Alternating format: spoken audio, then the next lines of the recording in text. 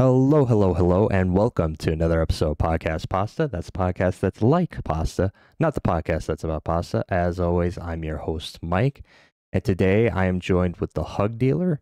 You are a Twitch streamer. I think um, you like the big bulk of your content is doing like the GTA 5 like roleplay uh, content. Um, you also post on YouTube, which I think, from my understanding, is just kind of like your VODs. Um, Hug, how are you doing?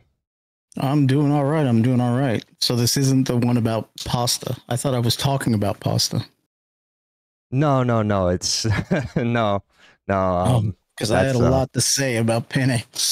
no, But no, yeah, no. I do. Uh, I, yeah, I'm a Twitch streamer. I started, I guess you could say, from GTA RP on uh, the No Pixel server, and I've kind of been branching out more into variety. As much as I would love to post on a bunch more platforms, it's a lot more difficult due to uh, just circumstances.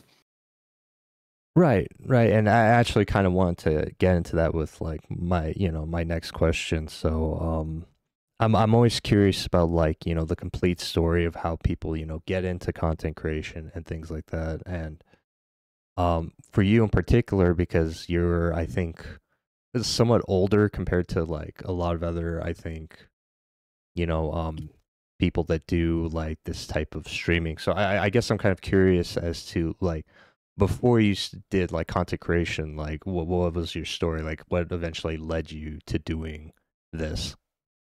All right. Well, I appreciate you uh, going that full long route of calling me old. I'm Yes, old I am too. I'm old. old too, and you know. but yeah, I agree with you. I mean, I am the minority when it comes to streaming. But um, I, before streaming, I was actually, uh, believe it or not, I it's a it's a really fancy title. It's a little ridiculous, but I like saying it because it, it always confuses people. But I was advanced manufacturing and integration process manager, and essentially what that is is there's a process engineering team that goes into whatever construction job you're into. Uh, we happen to build yachts, and I would manage the the engineers into basically how to create procedures to then use on the floor and you know work efficiently. I guess you could say. Right. Yeah.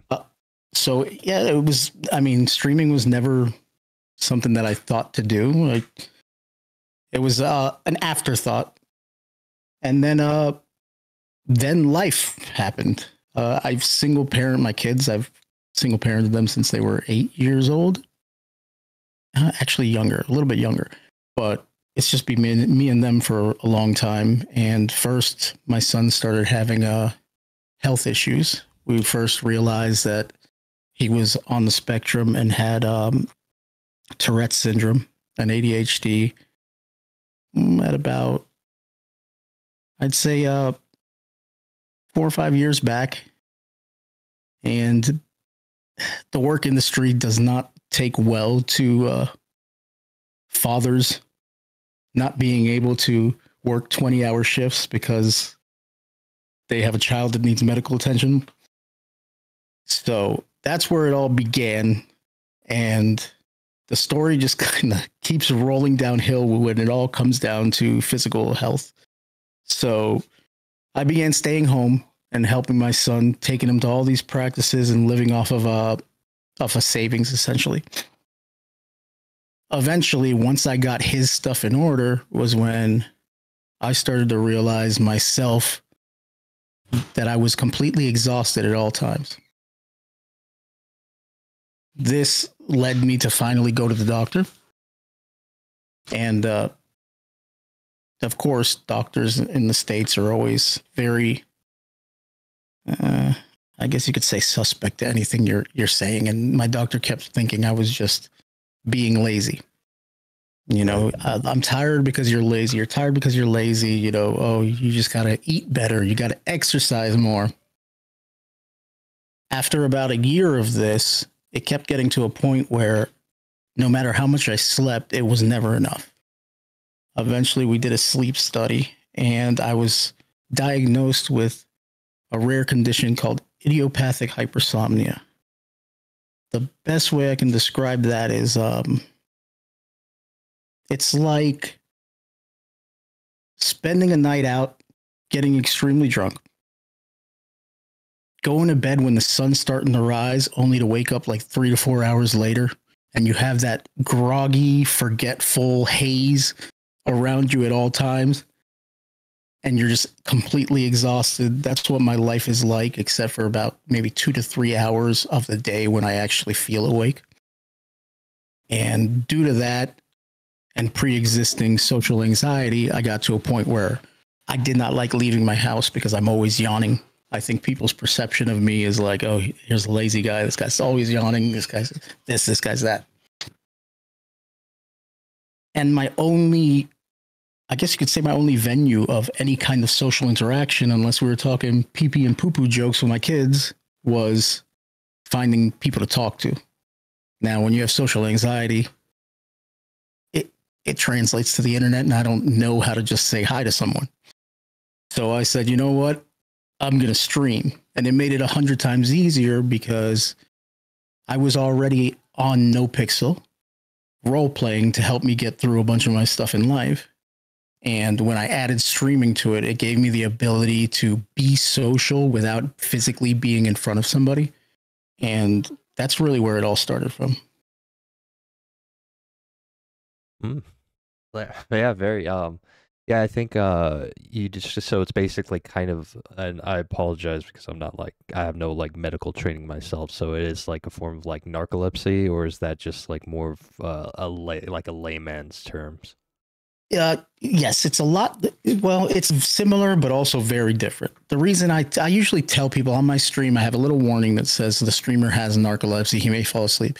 The reason I tell them I have narcolepsy is more so just to avoid the whole, well, what is idiopathic hypersomnia? You know, so it becomes this whole long talk I have to do. So I just say I have narcolepsy, and people are usually like, oh, okay, so he falls asleep. And that's kind of just easier.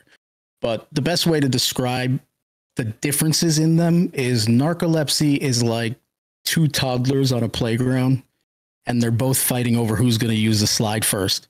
Eventually, one of them is going to win. Regardless of who it is, they're using the slide first. So, in their mind, they have sleep that wants to go to bed and then wake that's telling them, no, we're supposed to be awake.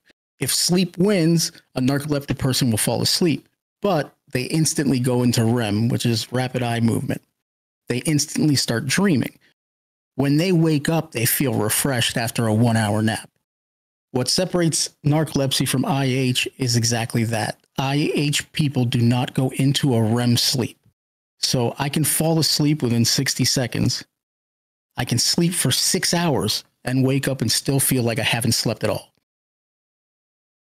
Okay, yeah, that that yeah, that distinction does kind of um, Makes sense. I, I was actually um hear, hearing your story. I was thinking like, were were you at any point um because I know like depressive people also have like you know issues with like energy and stuff like that. Was that also like kind of what some like what the doctor was considering too, or is or does that also play into like your diagnosis? Well, I I was I do have um persistent depressive disorder diagnosed and uh, and I guess now it's agoraphobia. I, apparently, I upgraded, but I was I did have a persistent, persistent depressive disorder. I've had it all my life, but I am a very firm believer in medication. You know, I try to help a lot of friends get on it, and when people do, I feel like it can be life changing. It just gets a bad rep because if you have just a primary care doctor giving it out, they don't really follow up as much. And it can be very dangerous when you're dealing with chemicals that deal with your brain. But I've been taking depression medications for years. And yeah, to answer the question, yeah, the doctors originally would think, oh, it's because you're depressed, or oh, the, the antidepressants aren't working. And that's what I thought too. It wasn't until I was extremely to the point I am now that I started looking back at life and realizing that it this whole condition started showing itself when I was about 28 or so. And you know, now 10 years later, I'm just it's full blown. Right. Right, I see. Um, well, to uh, uh, to move it, um, not that this isn't like interesting, but I mean, my specialty isn't like content, so I should I, should, I should pivot to that. um, so like, I, I think part of the reason why I was drawn to you was that you are a part um of like this GTA Five like role play scene. Like, I know you are trying to pivot towards like variety content in general, but um like in that GTA 5 like role play stuff I know is like huge on Twitch, right? Like it's like think like consistently one of their more popular categories. And Massive. It's always first or second. Yeah, exactly. And you know, I, I it's like kind of I think it's it's even gone to where it's like pivoted, you know, Rockstar from actually developing GTA 6 because they're banking I think very hard on like GTA online. Um but I guess um I how would I word this? I, I guess keeping that in mind because there have been rumors, of course, of like GTA 6. Is it going to come out? Is it not going to come out? You know, delays, things like that. I haven't kept up with the full news cycle on it. But for you, like with the potential of like, you know, GTA 6 and like the, uh, with an online edition coming with that, what what quality of life changes would you want from like a new sequel? That's a good question. You know, the thing with the thing that I feel like GTA has always gotten right has been their I mean, it, it, sounds crazy to say because the game is all about crime, but is their quality of life. I feel like they're really good at creating living environments, you know, where you feel like you're in a busy street, you feel like you're in a city. I do feel like probably things that could help is uh, maybe a more AI driven population that isn't just the same catchphrases over and over again.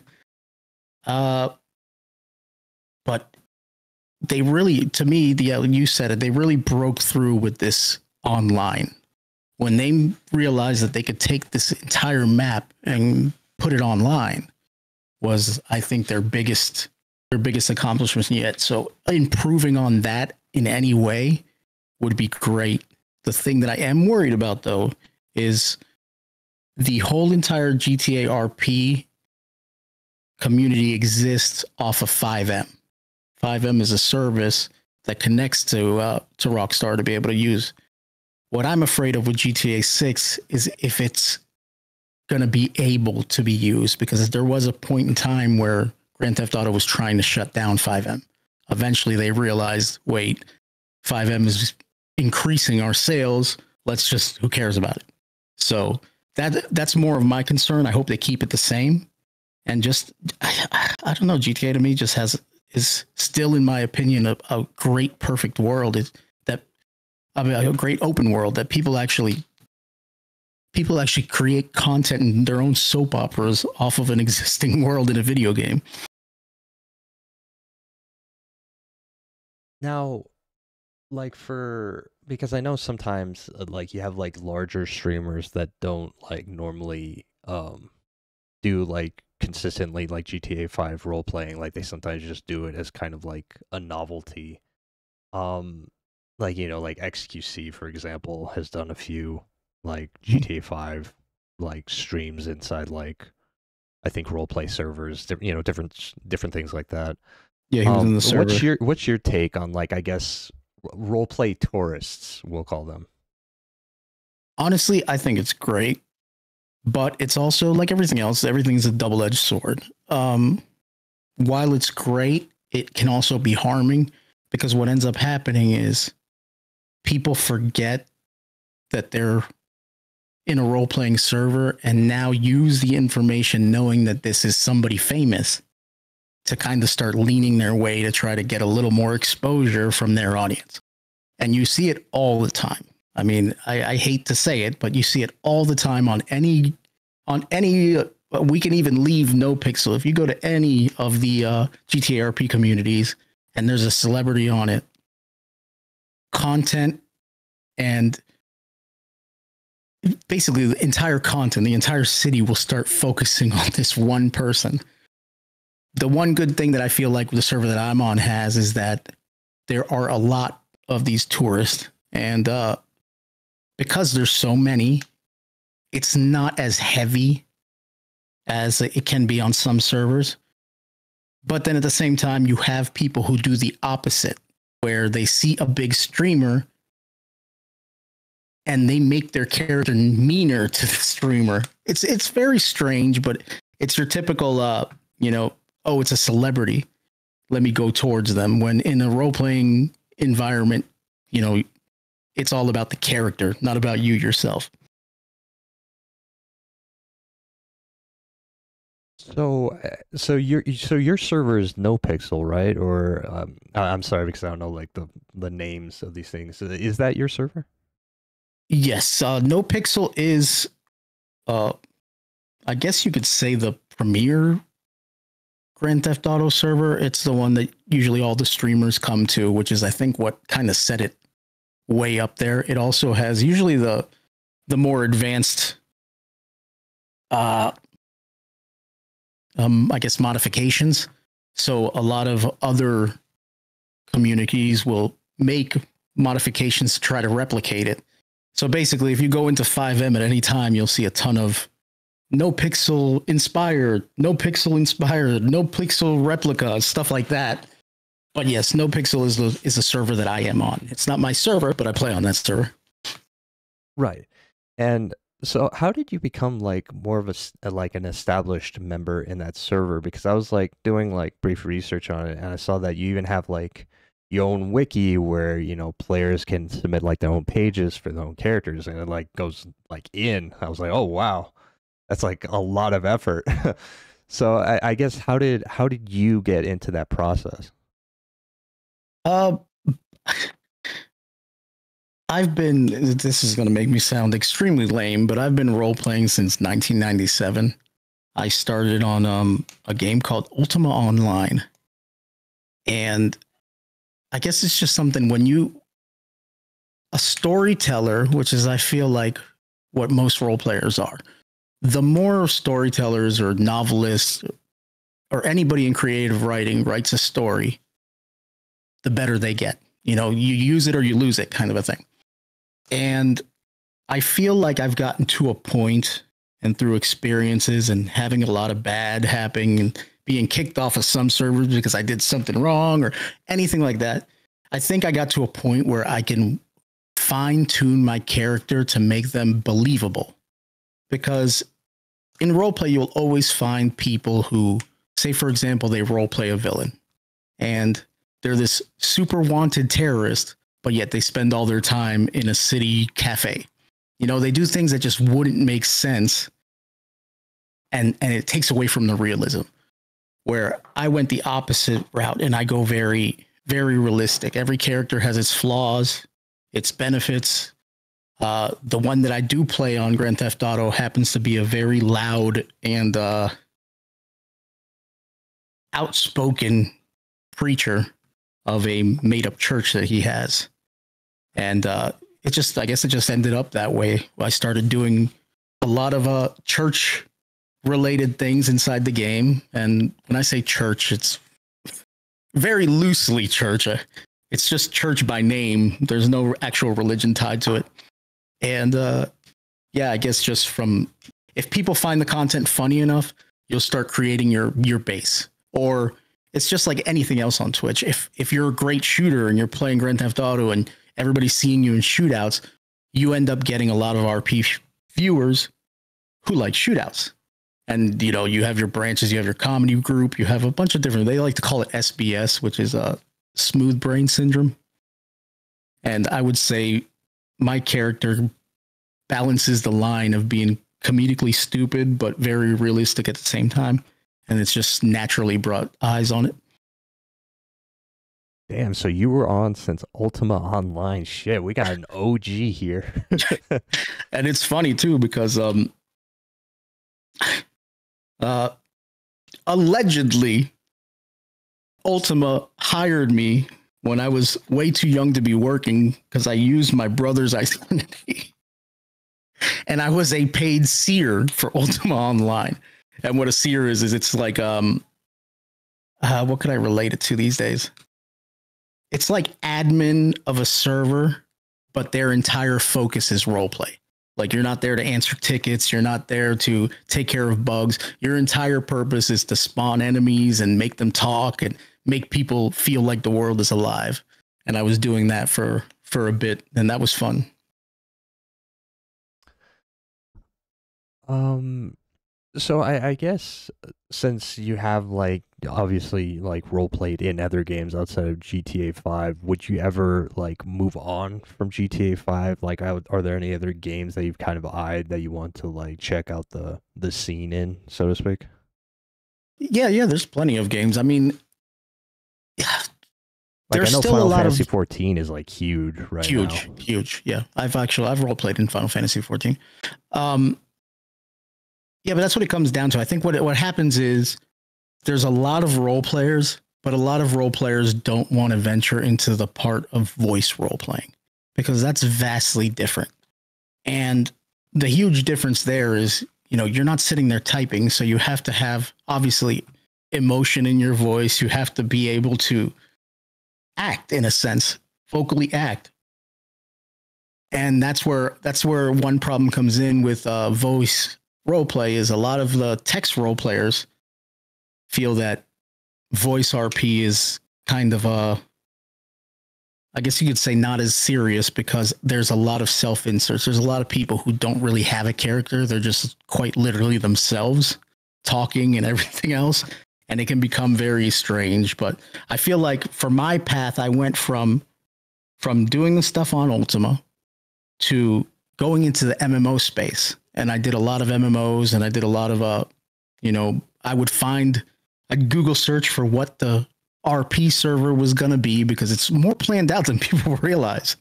And I would do, I think I did role play on WoW, Aion, even. I went the whole way up. Final Fantasy 14, like you just mentioned, was actually what I, I guess from there is when I went into voice RP. And that's where I started GTA RPing. So I've done the Final Fantasy scene. The thing is that there's, um, a lot of different types of RP, and some games are more notorious for certain types of RP compared to others. I wonder, like, obviously, I imagine the the developer like Rockstar is like aware of like its large RP community and its like online servers in like its online space. Um, I I I wonder because I I don't know how well it would work. Um, like if they would ever incorporate any of like the RP, like I don't know, let's say like storyline stuff into like the actual main game, or even do it as a reference. Do you think there's any way that they would approach it it like that, or do you think that they would just do it purely from like you know trying to focus on like the quality of life things that would help like role players, you know, manage servers better, you know, what have you?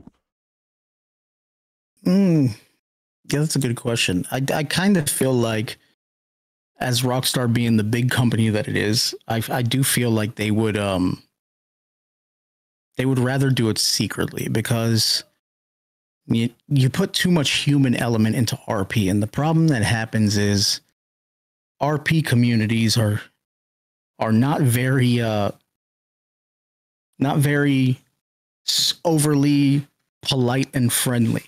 And uh, recently, it's finally been coming to light a lot of women in RP who have been sexually harassed and things of that sort. And, uh, you know, it's finally exposing itself. So I feel like Rockstar would help the role playing community by sneaking things in, but to outright claim it could be extremely dangerous to their brand. So I would see them not not openly supporting it, but at the same time saying, you know, here's some quality of life stuff so we can keep a revenue stream coming from people who are not playing GTA Online. Well, and like a lot of, I imagine like a lot of like role play servers would have to be careful about how they like monetize content like spawning from it because I know you had like Blizzard recently that um I think was like the re-release and just like as a broad example, uh, the re release of like uh, Warcraft 3, where they put a clause saying that anything created in its game modes is like owned by Blizzard. So is that kind of any like precaution that you have to take in like managing like role play stuff or even like trying to like monetize it, let's say? Oh, big time. big time. You have to consider there's a lot of companies who will allow you to use their product but not make financial gain off the product. Um, I know what a lot of servers do. You know, there's there's always loopholes in it. What a lot of servers do is they do the the typical donation route. If you donate, you know, you can have exclusive this. If you donate, you can have a you know faster application process. So they make a lot of their their income through donations which don't get me wrong, you kind of have to do. These servers are extremely expensive to run, especially the ones that are as big as the NoPixel is. And you do need income coming in, or it's just it's not sustainable to keep something like that alive just for RP. So I think it, it does get into weird situations. I know recently there it got to a point where a lot of vehicles were starting to be removed from NoPixel server, and the only thing I could think of was due to branding because that's the main thing that they did. They took cars that were branded and took all the branding off of the cars. So I would think it's something to do with marketing. Maybe it's not wanting to give free free uh exposure or what, but yeah, I, I do feel the monetization in it is very um if I already forgot where we were going with this question, but the yeah, I just feel well, like for even you as an individual, because um, I think it, I'm, try, I'm trying to remember. I'm, so, I'm I'm sorry. I do like uh, I have to look into like a few different creators, but you're partnered with like your Twitch affiliate, and you're partnered with like Throne or something like for merch. No, no, no, not Throne. No, I've never been partnered with Throne. Um, I've never actually, believe it or not, I've never actually had a partnership. Partnership. I've had sponsorships, but no, I have, I'm not par- partnered in any way. But there's like a link where you could like buy. Oh, yeah, yeah, yeah. merch or say, and then and like so, how does that like like benefit you? And I, I guess in that perspective, like how, what precautions do you have to take in like promoting while you're doing like the GTA Five like role play. Yeah, I mean, I don't think it. I think it's just like every other game. I don't think you really have to worry about about that because they do have exceptions for streamers in general and YouTube with you know how this rose. A lot of games even have in their uh, terms of service that you know they uh, they will allow people to monetize off of their game if they're streaming it. You know, so stuff like that. I don't think there'll be a problem with. It's kind of become normal the only the only person who really doesn't like it is Nintendo, which is still blows my mind. But um, yeah, I don't think you really have to ever worry about that. Mine is always. I think I worry more about what sponsors to take because of what I, what my content is, because you know, it's lewd, it can be stupid, it can be violent. So I'm more worried about who I take in sponsorships, I think, as opposed to them just finding sponsors. Uh, speaking of sponsors, uh, today's episode is brought to you by Salty Lama. Um, Hug, have you ever had any issues with your laundry? All the time. Well, boy, I have I got the 'em right product for you. so, uh, today's episode is sponsored by Salty Lama. Are you tired of lugging around heavy bottles of detergent and dealing with the mess of measuring the right amount? Introducing Salty Lama, ultra concentrated, hyperallergenic, and toxins free laundry detergent strips that are revolutionizing the industry. Their eco friendly strips are easy to use. Just toss one in with your laundry and you're good to go. With Salty Lama, you can say goodbye to harsh chemicals and hello to a cleaner, greener laundry experience. But it's not just good for the environment, it's good for you and your family. The hypoallergenic formula is gentle and sensitive skin, making perfect for babies, kids, and adults with allergies. Don't just take my word for it. Give Salty Lama a try and see the difference for yourself. You'll be amazed at how powerful and effective their detergent strips are. Visit www.saltylama.com and order yours today. Don't forget to use the code podcast pasta at checkout for a special discount. Again, that's www.saltylama.com and that's code podcast pasta for a special discount. Um, thank you. So if I use podcast pasta, I get a discount on Salty Lama. yes. I like that. Yeah. Eco friendly and discount. Yeah, and it, it benefits me. I think it's like ten percent. I, I can't remember the exact amount, but it, it's pretty it's pretty decent. And um, you know, they're like tiny little squares. You just throw it in, It's it's very Interesting. nice. Um, so I guess kind of pivoting to your more recent content, as you said, like uh, you're variety streamer. I uh, I think I've like hopped in on a few of your streams, and I've seen you do like reaction to like different like you know um, media or like I, I think one time it was like a TikTok video or something. Um, but I guess why I, I guess I'm curious why the broader pivot away uh, or like to just general content like that. Uh, all right. There's um there's this famous thing in GTA RP, and that's uh being tunneled. It's it happens to a lot, a lot, a lot of streamers. So if you look at any time and you click on that GTA section in uh in Twitch, you will see people who I mean you're talking 18,000 people are watching. You got you got big people. The problem is viewers viewers can get very heavily invested. And when I say heavily invested, I mean I, I get it. You know, think of people who cry watching TV shows when the character dies, or you know, they they get excited about things. And to me, that's what makes a good TV show. Because if you're feeling emotion for something that is fake, you know, then the, the person producing that thing is is doing the right job. The issue with with uh role play is that the viewers are there strictly for that. And they will get to a point that they watch multiple GTA streamers and just hop back and forth between them to get different angles and different perspectives of things. And uh, they get very heavily invested to a point that if any of these, like the larger streamers you're talking about, you can see them if they switch a game, say they decide to play Apex, and you know they even have it in their title. They have it the whole day. It says Apex, Apex at four, whatever. It hits that time, and they switch over. You will see the viewership significantly drop. I'm talking like ten thousand plus, just gone.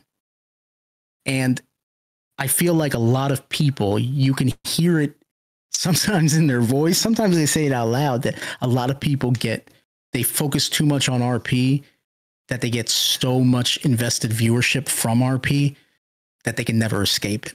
And that's kind of like, I don't want to fall into that hole. Plus, I just, you know, to me, I started the streaming more so to have people to talk to. So kind of I feel like when I'm doing variety, it it gives me more chances to speak to other folks than when I'm role playing. Because role playing, I get very hyper focused. I'll be paying attention to what people are talking to me. You know, I'm focusing on the on the actual game and what's going on more so than I'm looking at chat and and responding. So I kind of started pivoting for both reasons. So I know that like like you said that you got into stream partly for like the social element of it.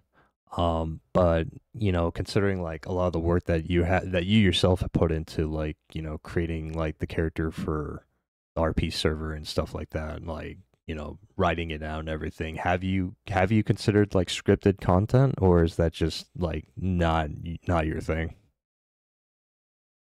I mean, I have. I have. I think my biggest issue right now is um with my health I I tend to my motivation is very lacking. Like I I already know that Twitch is not the place to make a living.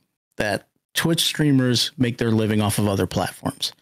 My biggest issue is me trying to do the work to spread it to other platforms is nearly impossible. Yeah, I, I, just don't. There's no motivation. Everything exhausts me. Uh, I everything gets heavy that I just don't want to do it. And for that reason, you know, everything is kind of every other social media I have is very stale. So, yeah, Oh, I'm sorry. Were you, were you gonna say something else or? uh, no, this is my point exactly. I've already forgotten what we were even talking about. No, no, no. You're good. I, I get the general gist of what you're saying. Um, but I, I guess uh, what are some because I know like obviously there has to be different approaches to like you know doing like streaming like as an art as like a role player versus just doing a variety streamer. I think you know it's obviously different skill sets. Like, what was like the biggest adjustment that you had to make in kind of like pivoting your content that way? Um, actually, the biggest adjustment isn't even something that I would say is like something to learn. It's more something to to forget. Um, when it comes to RP communities, there's a thing called meta. Meta is essentially, you know, someone telling you what happens. So it's very important to not get your chat to provide meta. So, like, say for example, um, somebody snuck into the trunk of your car, and you are getting your car and you're driving, and then chat's sitting there like, "Oh, Bob's in the trunk. Bob's in the trunk." With them doing something like that, and even just you seeing it, it now puts you at risk of meta. It puts you at the risk of now anything you do from that point on. If you end up looking in that trunk, can now look like you've done it because somebody told you. So I think the hardest part that I've had adjusting is when I'm playing variety games and my chat will say something like, hey, yeah, go right here because of, I will completely disregard it and try to do the exact opposite because in my mind, I'm thinking, wait, you're giving me meta, stop giving me meta. And it's like, I'm not role playing anymore. They can tell me whatever the hell they want. And that's where I think that's been my hardest adjustment as I was playing um, Elden Ring not too long ago, and my chat was telling me stuff.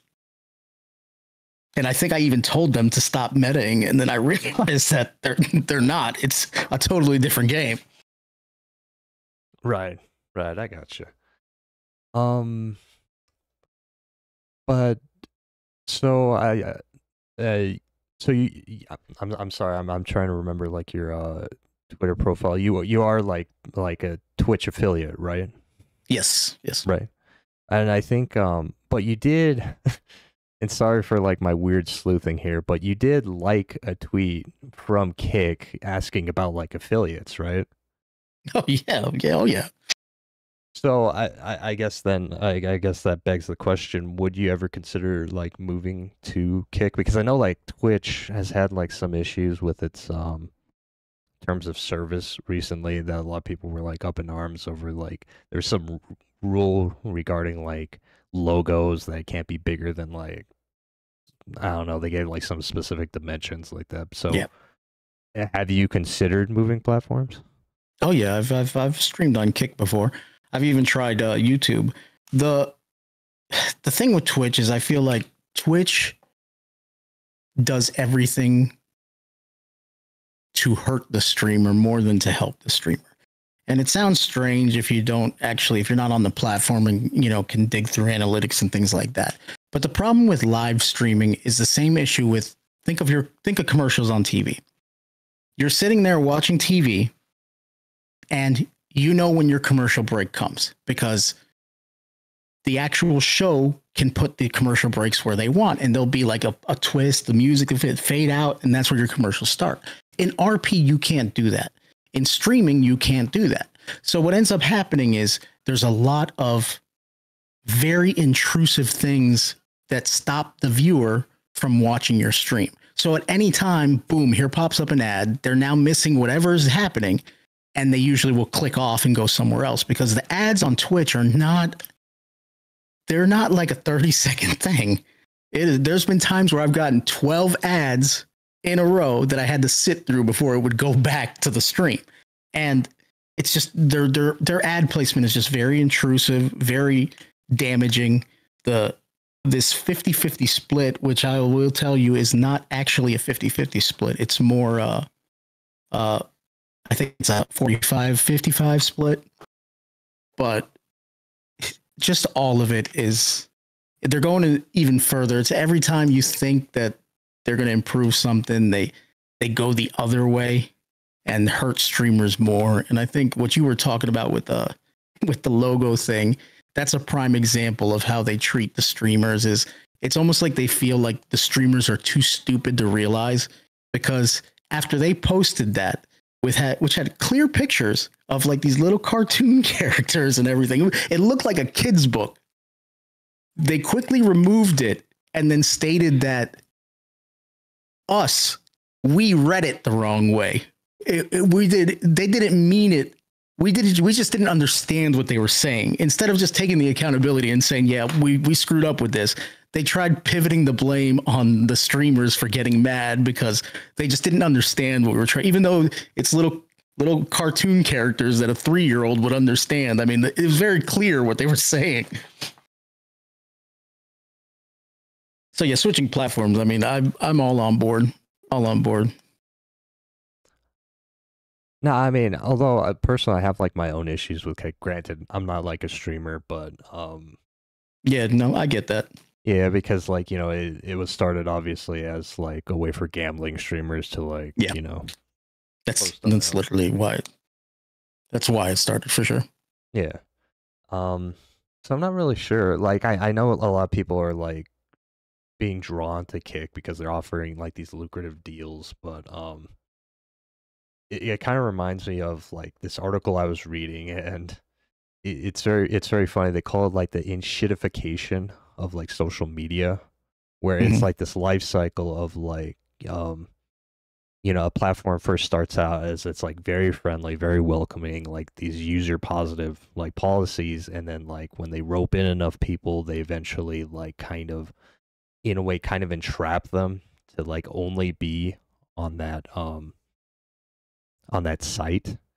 Yeah. So I wonder if we're seeing a similar cycle with Kick, where you know, uh, is there just going to be a moment where they pull the rug from under its own creators?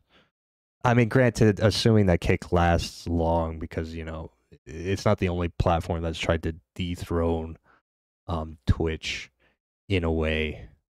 But um, I mean, again, this is no like judgment call on you. I understand that, like you know, a platform is a platform. You just gotta, you know, you you gotta make that. You just gotta make that cheddar, so to speak. Oh yeah, I'm- I'm a hundred percent believer in that. I mean, I'm I'm I'm all about you know learning where your food comes from before just blindly consuming it.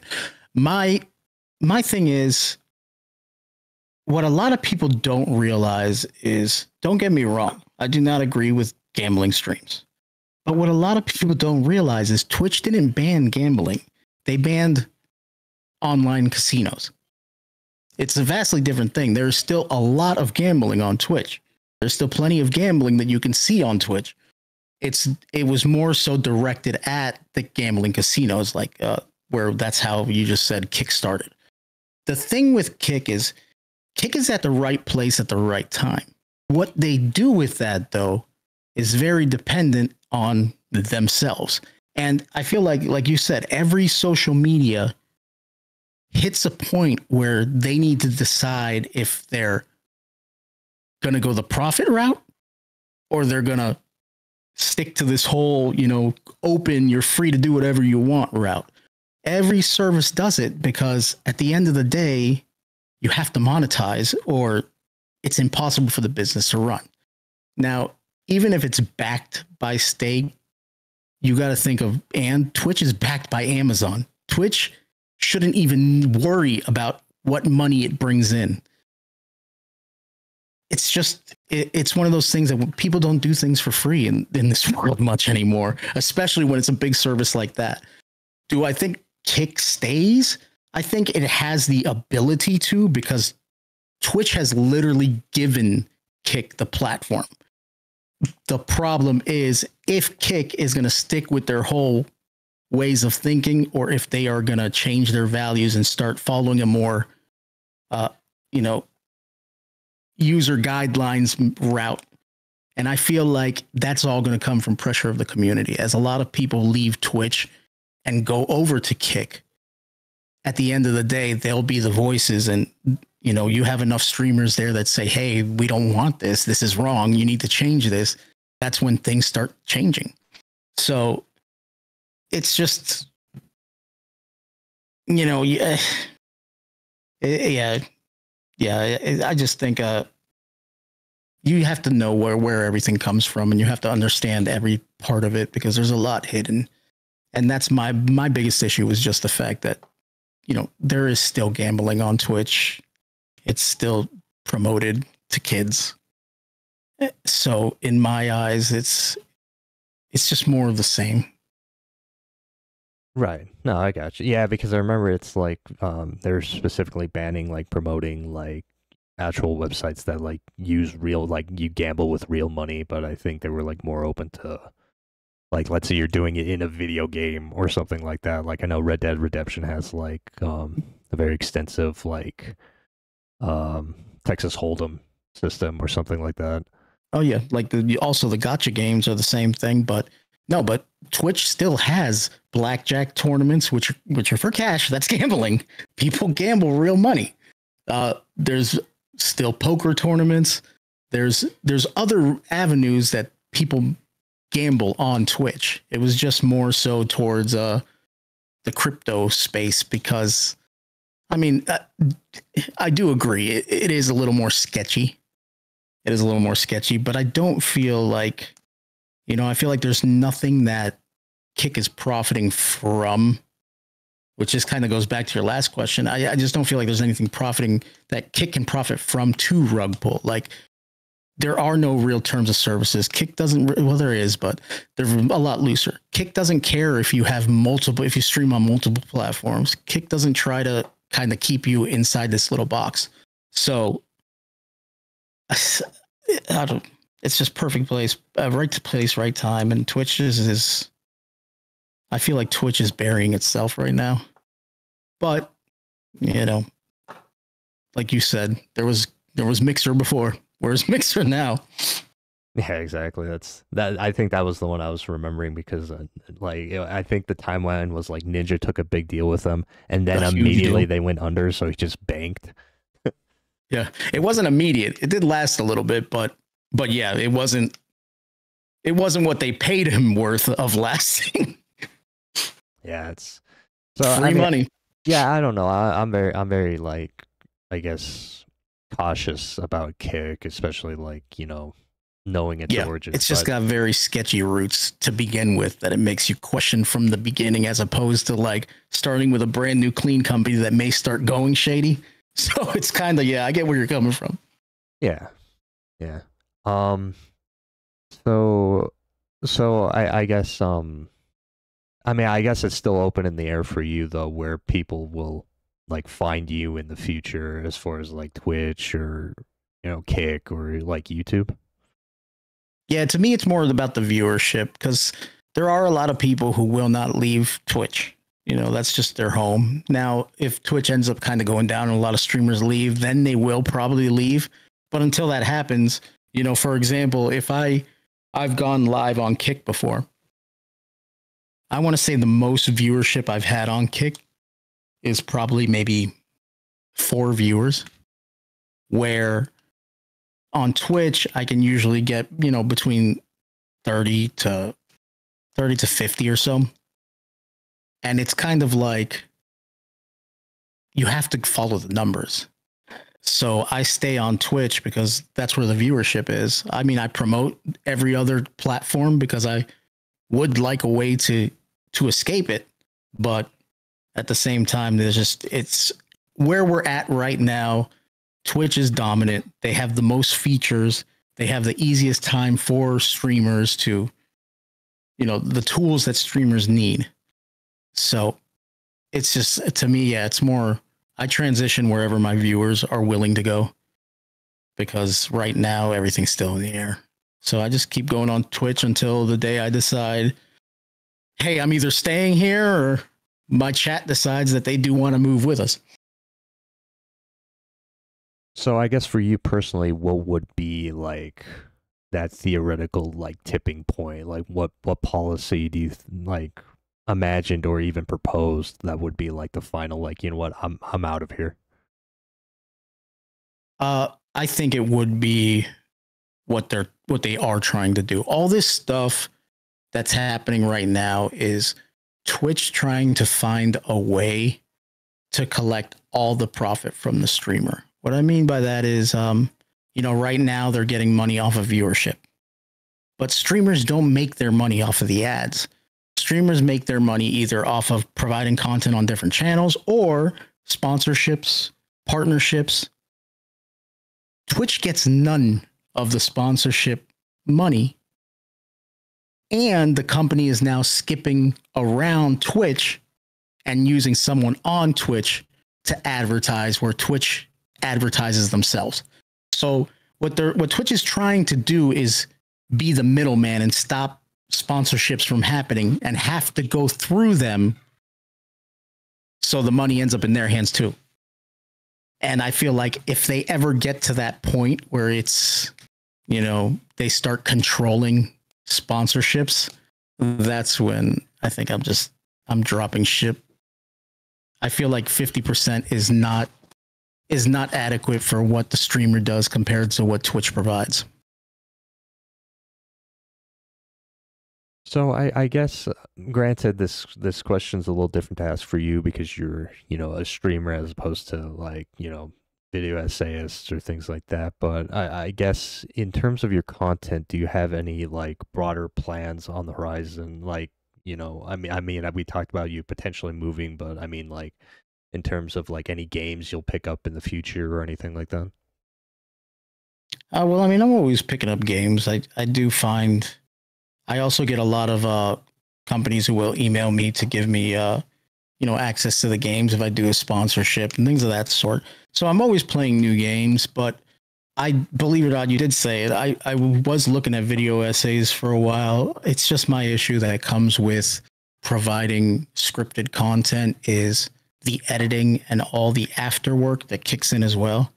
So I did have I you know, you can find people to do this stuff for free and help. The issue is when you're not paying someone, it, you know, you're on their time. You can't sit there and be like, hey, I need this at five o'clock today. So, you know, that's what's really been stopping me because I just, to me, it's like what makes streaming easy is I hit the button and then I, I'm just myself for however long I want to be there and then I go bye bye. And that's very easy for me to do without, you know, straining my mind and my body too much to a point that I get overly exhausted. But I've thought of it. I wanted to do essays. I've had some ideas. I've even had some scripts done, but it's just, you know, following through with it. Yeah, it's kind of an unrelated note. Like, um, you, you and I are both a part of, um, or you and me. I can't remember what the right grammar is for it, but like we're part of, um, a YouTube, uh, like a smaller content creator, like uh, YouTube Discord, and I, I've seen like the postings where people are like, "I'll edit for free." It's like, oh man, that's rough. Like, damn, you know, because it's like, yeah, you're probably you're probably like your skills are probably actually worth real money, but it, it's just it, it sucks to be in like that kind of situation where you feel like you have to like do it for free, you know. Yep, yep. It's but it is. I mean, if you think about it, that's how most editors have to do it for example, like a lot of the think of YouTube. I can't count how many creators do like a editing competition and whoever wins becomes a paid editor for them. So it's like you kind of I feel like it in the in the world of uh, content creation, if you're an editor, you're not going to make your money being uh, you know, like having a web page and saying, "Hey guys, I'm an editor. Pay me this." I think it's more guerrilla style where you have to go in there and offer free stuff in hopes that you get something. And I think what the people are doing, the editors are doing in the, the channels you're talking about, I feel like it's more so a growing thing. I feel like in their mind, they they're not that comfortable and confident with their editing. So they'd rather do it for free in hopes that they start getting more and more of their like a portfolio, start getting more and more recognition from other content creators and it'll actually pick them up to where they want to go.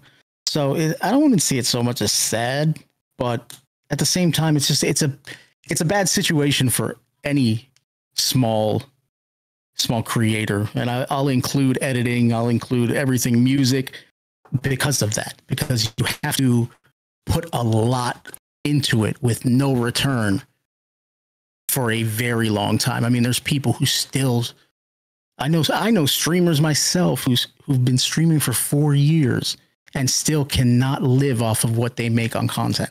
And it's just, you know, that's just how it is. You're providing free until you can actually make the money that it becomes worth your time. So it's just the growing pains. Yeah. Yeah, and I, I and I understand like there's like also a passion to editing. Like some people generally do like it as Yeah. like a job. That's yeah, bless them. Like th- that to me is like uh the people who get a a college degree in mathematics. I'm just like what what? what? so, some people are just built that way, I guess. Yeah, I mean, you know, there's you know, like chase your passions, right? Like you never know like what'll land you a job, what won't, right? That, that's always my mentality for it. Um but I guess we are approaching the hour mark. Uh, do you mind if we we go a little bit over? I know I, I told you like it usually, uh, or I can't remember if I actually did tell you. If it, my interviews usually last an hour, but if you don't mind, like it can go over a little. Yeah, no, I'm fine. I mean, I was just I took today off of streaming anyways because I had Oh. a I had to I had- knew I had this and on top of it uh I got the phone call yesterday about having to travel to go pick stuff up. So it was kind of like, you know what, let me just take the day. So yeah, no, I'm I'm free. Oh, cool, cool. Um, so I guess. So I, I I'm curious. Do you play games outside of streaming? Like this is always something that I ask like content creators because I know it, sometimes it could be annoying to like play a game outside of streaming. Like for me, it's the opposite. Like it's encouraged me to play games, like to capture footage so I could use as like kind of a background visual. Um, but I know some people are like oh man i my content is let's say all about call of duty so like on my off time i don't want to play call of duty obviously uh do you have like a similar mentality or uh, like how does it work for you No, not at all. Believe it or not, um, I want to say collectively, if we go through my entire time streaming, I've probably played on the server more offline than I have online. Um, when it comes to like games like Call of Duty, for me personally, I would probably treat that more like a job because I don't. I'm not the type of person who can do very competitive games for a very long time. I feel like if you get that frustrated over a game, it ruins the purpose of why you're playing the game. But uh, yeah, people no, to me, like I still mad, play games. you know Yeah, that's true. Some people like that adrenaline of raging, I guess. I don't know. But to me, it's just, yeah, I, I like playing games off stream still. I'm sure other people, it could be different. But I feel like I also play a lot more, um, more multiplayer games off stream and I save single player games for stream because I feel like if you go on a single player adventure, having people there watching it will kind of having people there watching it will help them stay because they're it's like a, an episode where uh or multiplayer games, you know, sometimes you just want to relax and not worry about what you're saying and not have to pay attention to three things at once. So, you know, so yeah, I still I still play games at, with that freedom of not having people watching it. right i gotcha yeah yeah um you actually just reminded me with um the previous question that i'm thinking like uh like for myself like obviously i do it for free now pretty much because obviously i'm not big enough to make money off of it but I, i've i've kind of always thought about like this weird crossroads where you know like right now in my life um i would either want to like obviously do this to make money because you know i need money right it's just the world we live in um Yeah. or to or to take the opposite route and just kind of like approach it like a public access content in a way where I just completely do it like free like I even drop like the sponsorship like Patreon and whatever uh switch my licensing to like Creative Commons. Um because I, I've always myself I've always been a fan of like public access like shows. Um and you know you're like me you're like you're you're an old head so to speak. So you we we both probably grew up at a time when it was like more prominent prominent like PBS and stuff like that before like you know obviously the move to like streaming and like YouTube and everything. But you know um I don't know. Yeah there, there's just like an aspect of that that I love like that I would always like to like kind of capture that I would always be tempted to capture my content if I you know if I didn't like let's say need the money or whatever. Um, no, I, I think that's I think that's what separates uh, successful content creators and unsuccessful. Is you kind of touched on it earlier too. Is It's more so the passion. Would you be doing it if you weren't paid for it? And don't get me wrong, when anything becomes your daily job, you won't love it as much as you used to.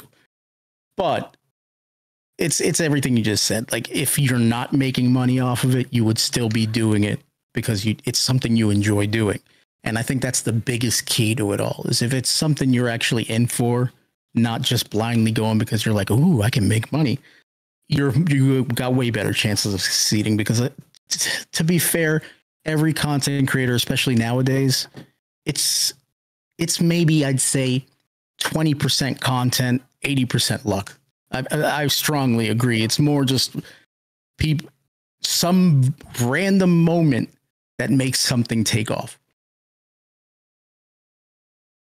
And oh, and like playing the luck with the algorithm and everything like that. yep, yep.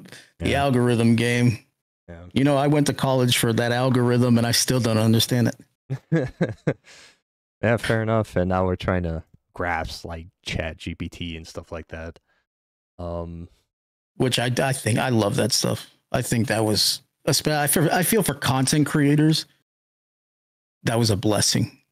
I mean, it it helps do a lot of your, um, especially the Google one. You can get a lot of your SEOs off of it. You can get a lot of your you know, your buzzwords, your hot topics, all that kind of stuff with AI. So do I fear AI? I always find, find it funny when people talk about the AI and they have that fear of AI taking over. And it just reminds me of, like you said, everything we've grown up through. I remember um, Pokemon was going to turn us all demonic. Uh, the satanic Y2K, Y2K was going to kill us all. So it's like, I just feel like it's something that everybody has with technology that's brand new.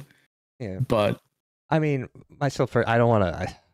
I, I, swear to my listeners, I don't want to open up this can of worms again. I've talked about this a lot, but um, you know, with like AI broadly, I you know, I I think it is fair to be like cautious about it and to like you know, like there's a whole branch of like oh, I forgot like um what the actual term was called or something, but like uh ethicist or something, like focusing on like you know I, I think it's okay to question like what role we want like these technologies to play like in our day to day life. Right. Um yeah. You know, because you have like libertarian like tech bros that are like, no, like full steam ahead, like, you know, not thinking about like the human element or how we Well, I think that's the biggest issue too when it comes to AI. And I think that's its biggest downfall is the fact that someone is programming the AI and someone is teaching the AI. And when I say someone, I'm not referring to like, you know, the people who just completely made the program. I'm talking about where the AI is getting its knowledge from.